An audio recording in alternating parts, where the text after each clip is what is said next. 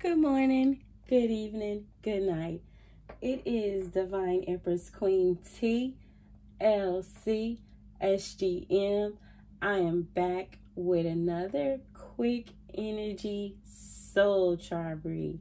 I'm going to be doing a read for all zodiac signs, and this is just going to be a two card spread to see what's going on in every sign's little love life or interests.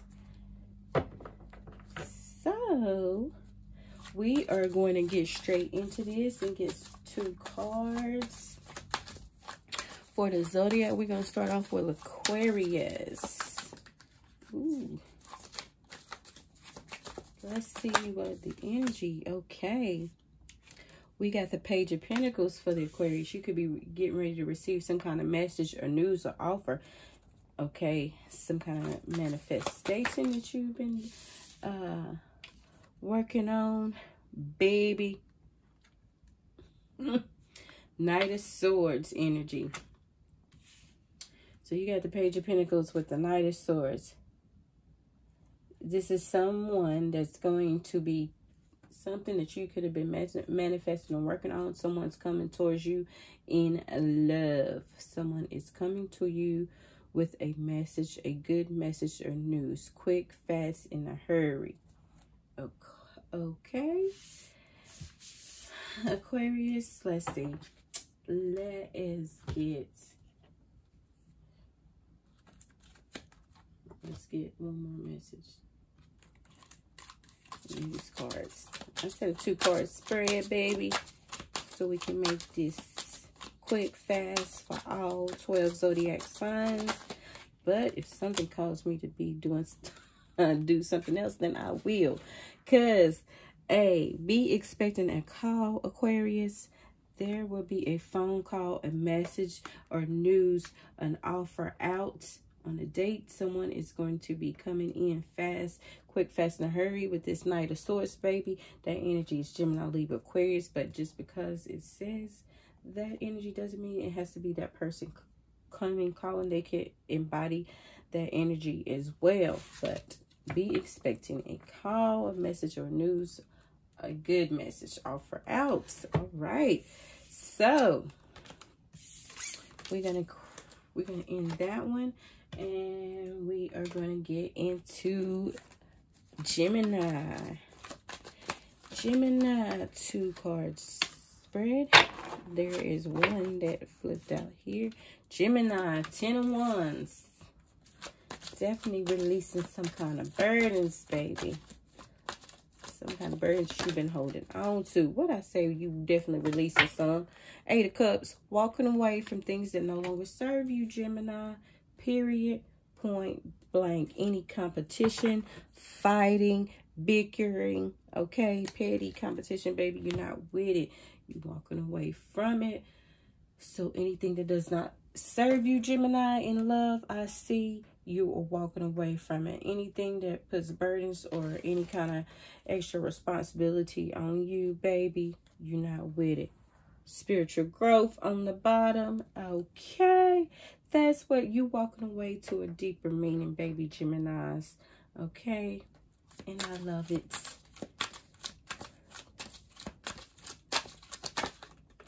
And what do we got here? One card I'm going to take.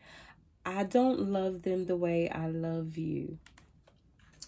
OMG. So Gemini, somebody is definitely in love with you. And they are saying that they don't love the person that they are with now the way that they love you. And woo. Okay. Geminis is walking away from things that no longer serve you, serve them.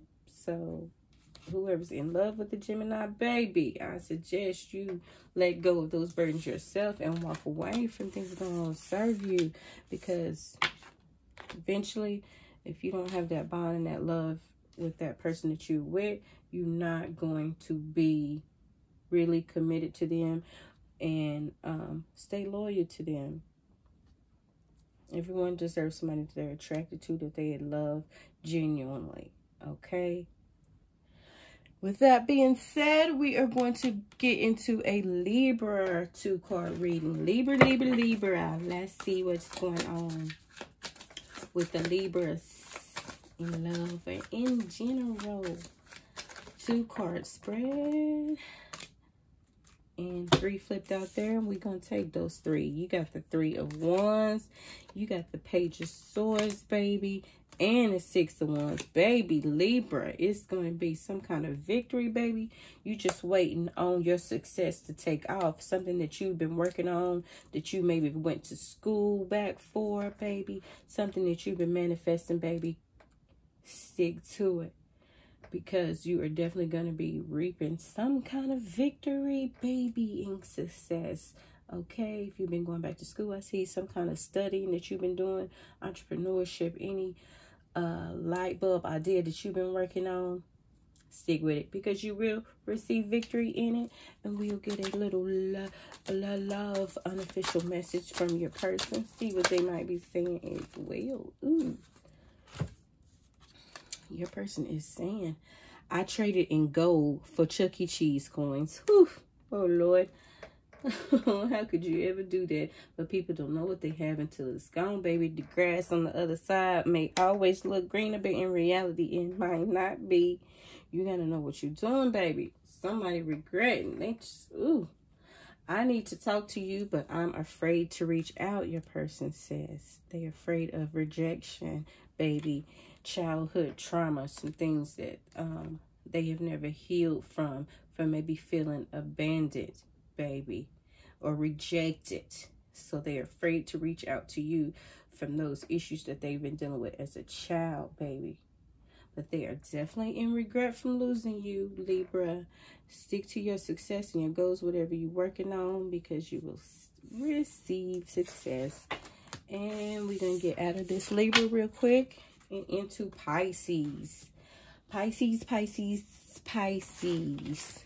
Well, let's see what's going on with the Pisces two card spread. There's one, five of wands. Oh, Lord.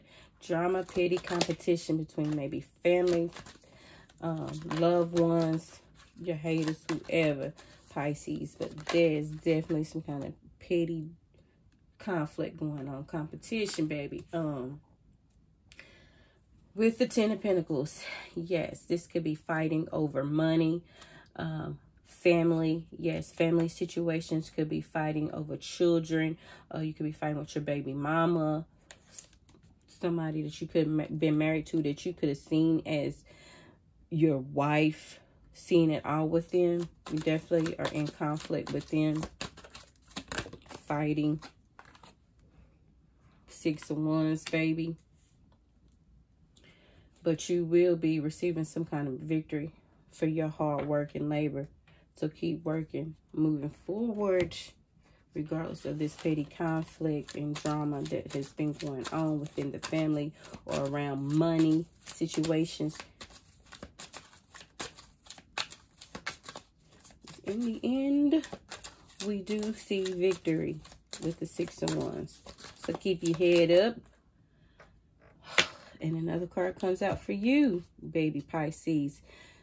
I don't love them the way I love you. This could be you talking to your partner or your partner talking to you.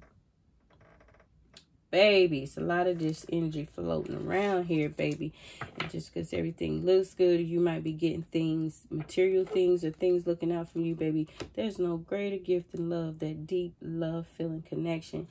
And if it's not there and you loving somebody else and with somebody else, Go within, baby. He'll really check and see what you need to do before you make those decisions. Okay. Why, why, Pisces. Now we are going to move right on in with Cancer. Read two card spread. Let's get two cards for Cancer. See what's going on. Ooh, okay. We got two out here. I like how those flip like that flipping up. So we got the Two of Cups, Cancer, and the Magician. So this is somebody that you could have seen as your soulmate, baby. A divine connection. Okay, you are manifesting this love in, baby. Yes. And it is, seem like it is definitely coming into fruition. Your rejection, your rejection will destroy me. Okay, so Cancer, this could be somebody that you're trying to manifest, that you see as your soulmate, that you love, baby. You want to manifest them back into your life. But if they reject you, you saying it will destroy you. And you could be working on yourself, your own self-improvement healing. Um, you know, don't let any rejection destroy you because if what's meant for you will be meant for you, baby. I mean, sometimes you got to learn those lessons. You don't know what you have until it's gone. But, um, guys, rejection is your protection, baby. Things just weren't meant to be. Don't dwell on that energy. All right. Cancers, continue working on yourself, manifesting your dreams, baby. All right, Cancer, what we got now, Scorpio? Let's get into these cards. Two card spread for Scorpio. Definitely, I just want to say back on that Cancer reading before I switched to go to the Scorpio reading, I seen 1111 on the card. So that person that you manifested was your soulmate. It's definitely your soulmate, a divine connection. Anywho, we are now on to Scorpio and we got two cards that flipped out here. Scorpio, something you manifesting, working on, baby. What is it? Ten of Cups, happy relationship, happy wife, happy husband, children, the whole nine. That's what you're working on manifesting, baby. And it's coming. Okay?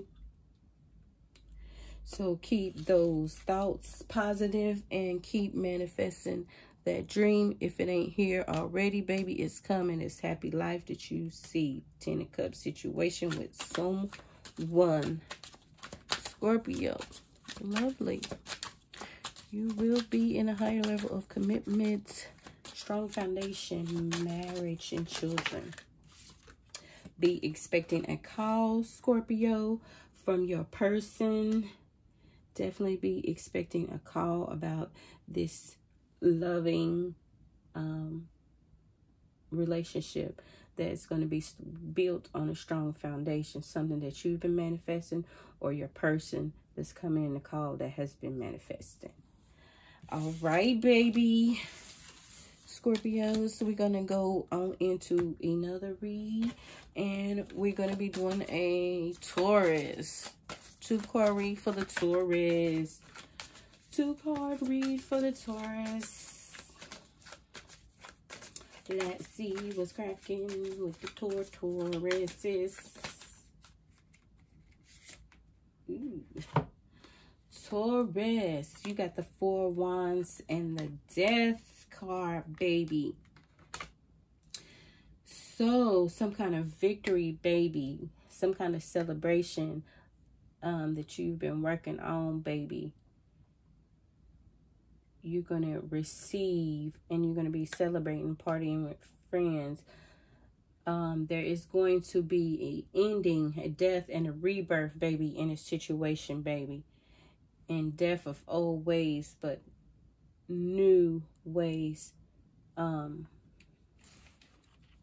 being brought into the situation and positive situations, baby. Definitely. This could also be Taurus with the Four of Wands, a marriage card, the 1111 card. Somebody wanting to create a strong foundation with you okay they see love and happiness with you and they want to end any negative or things that were from the past in the situation. They want a rebirth. They want a new beginning with you. Taurus a deeper commitment. Definitely with the four of wands 1111 card. And this is a message from your person. It says you are the last person on my mind before I fall asleep. It's the 1111 card, four of wands, yes.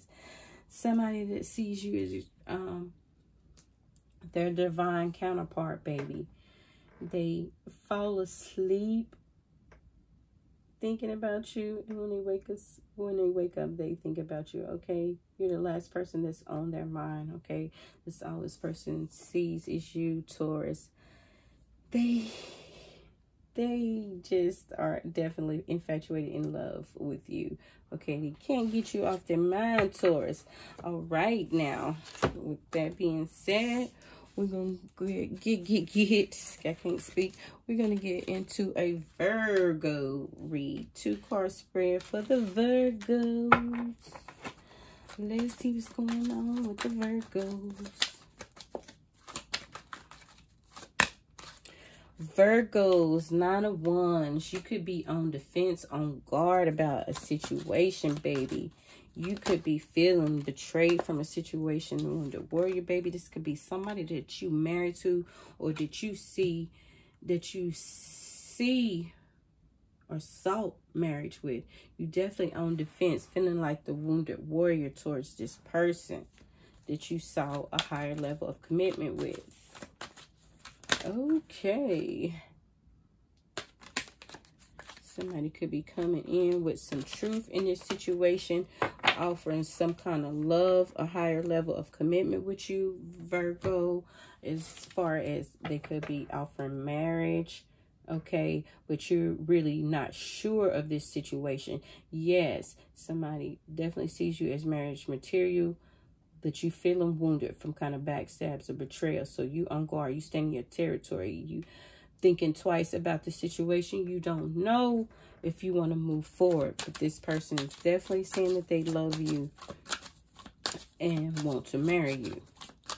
But you definitely on guard and not sure and set boundaries definitely and make sure that it's right before you make that step because it is a serious situation marriage you know we all do it because we want it to last forever. But in reality out here situations don't go that way. You may see red signs but you ignore them get into situation and then bam separation comes down further into it baby. So make sure you you are truly in love that you are invested and you want to work on it. And i see that you are not quite sure about this person. The last time we were together you thinking about some kind of situation um, last time y'all were together. Um, maybe you kind of felt like destiny, like y'all are kind of soulmates, but with all the hurt and the and the pain in the past, you're on the fence. You're not sure, and I'm gonna leave it there.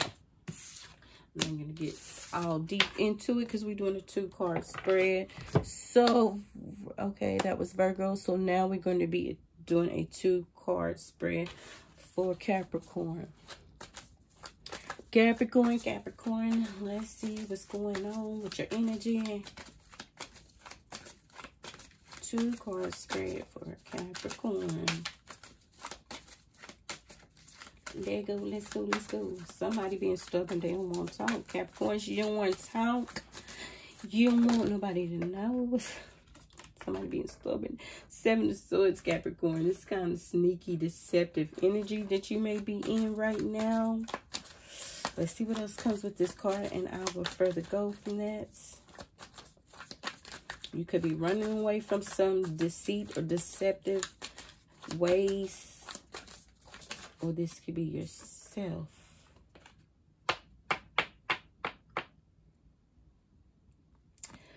We got the Six of Swords, baby, in the reverse.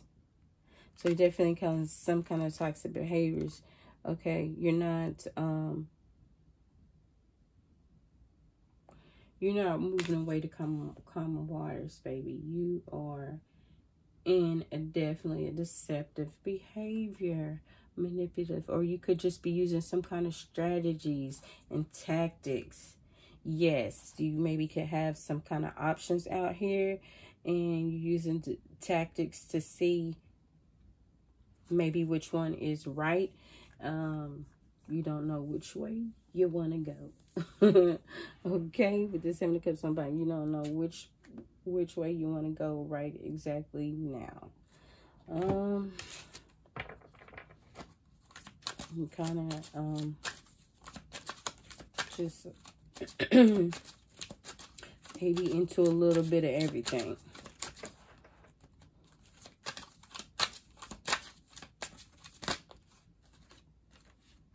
Too many cards rolling out here. Divine connection, twin flames, those third party situations I flip in there. I just want one card. All right, there it is. Thank you. It's always been you. So Capricorn, somebody that's on your mind, okay, that you maybe been sneaking deceptive to, okay. You're realizing that it's always been you and I'm feeling you. The Jeepers Creepers on the bottom. You could be spying on this person heavily or they could be spying on you.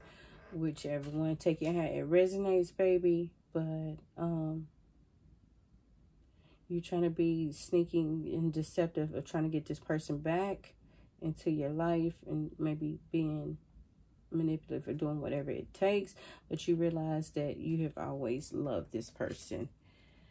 All right i'm not going to get quick and deep into this either. Two card spread. So we are going to after capricorn there is aries. Two card spread spread spread for the aries. Two card spread for the Aries. like these two wanted to flip out. So you know what? I'm going to take them, Aries. Queen of Pentacles and Six of Pentacles, baby. Aries, this is somebody that some kind of secrets or illusions that someone has been hiding or you yourself, Aries some person that is the queen of pentacles that you see loving and motherly baby she got her own coin baby they are aries this could be you wanting to give an equal give and take or this person could be wanting to balance and give an equal give and take in the relationship baby. Um equal reciprocity and that is a great thing to have. You could be very attracted to this person aries. You see that's very loving and grounded and stable. She's connected to mother nature she has her own coin okay takes care of herself our union will happen this lifetime so maybe it's taking some kind of time to get to this divine union, baby. But you got faith that it will happen. And if it's meant to be, it will be, baby. So this could be somebody, um, definitely Aries from your past that's wanting to reconcile with you. With somebody that you see is home and loving and loyalty that is coming into your life, Aries. And with that being said, we are going to get in with Leo.